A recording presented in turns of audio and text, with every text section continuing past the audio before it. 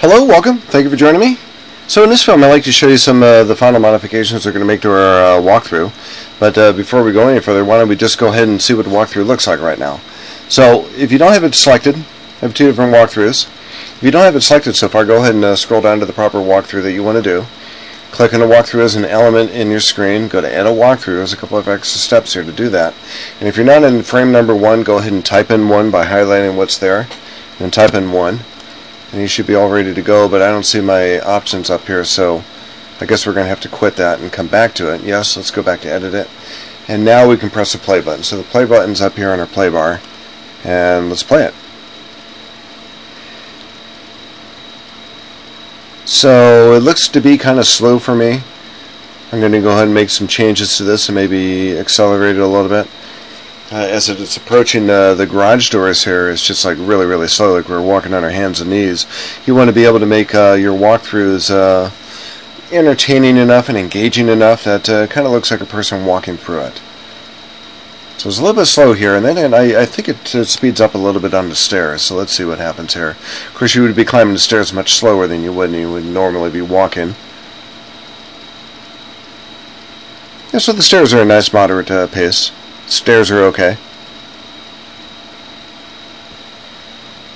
And we go to the front door and then our um, our walkthrough kind of ends right there. So let's see what we can do about speeding this up a little bit.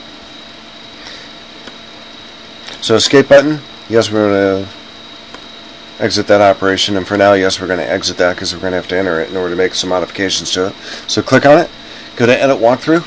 One modification you can make is go to uh, the number of frames. Total number of frames is right now at 300. If we want to make this even slower, if we type in 600, double that, and go to apply, you notice that the total time up here is going to change.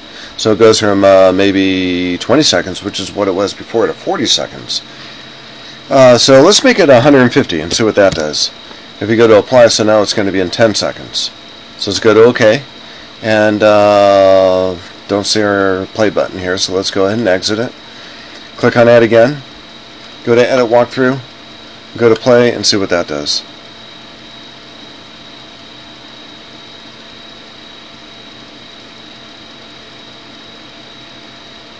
So it's a little choppy, but it is going through, uh, it looks like um, maybe not quite twice as fast, but go through pretty quick.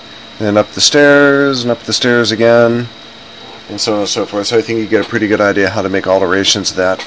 Let me show you one more thing to do, and yes, and yes, we're back to square one. If we want to uh, change this, if you really want to get to nitpick about this and change some of the settings here, go to the 150 up here for the number of frames. And instead of uniform speed, you can make each one of these a little bit different. So maybe uh, an accelerator on maybe the first four or five of these, maybe make it twice as fast and we finally start going up the stairs. Maybe back to one again would be okay. So let's go ahead and apply and go to OK and press play and I think you'll probably find it goes a little bit quicker. So yes here. Click in that frame again. Go to edit walkthrough. Go to play. We won't play this to the end but you'll see that it goes a lot quicker in the beginning.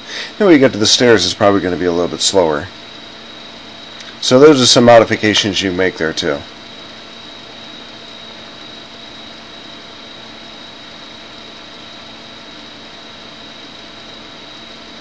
Okay, escape, yes. Click out here on the side, yes. I'm going to exit there too.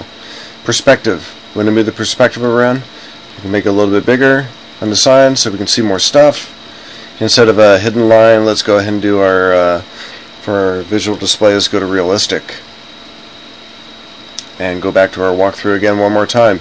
You could do this one step better. You can actually do a photoreal rendering of this as it goes. And I did one of a project and it took me about four days over Christmas to get this thing rendered and it still wasn't right. So it does take a lot of computer capacity to go beyond this. So you got to kind of keep that in mind too when you're doing it. So let's go ahead and uh, click on this. Go to edit walkthrough. Go to play. It shows you a lot more stuff, which is kind of fun. Okay, so I'm going to click on the outside after I do escape.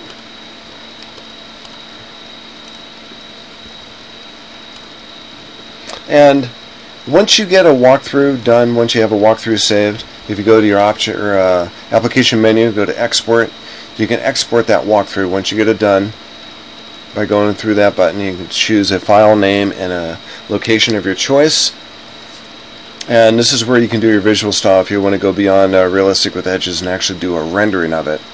If you got yourself a whole week of time to do, uh, go ahead and do that. You can actually do do only a couple frames to see how it works out.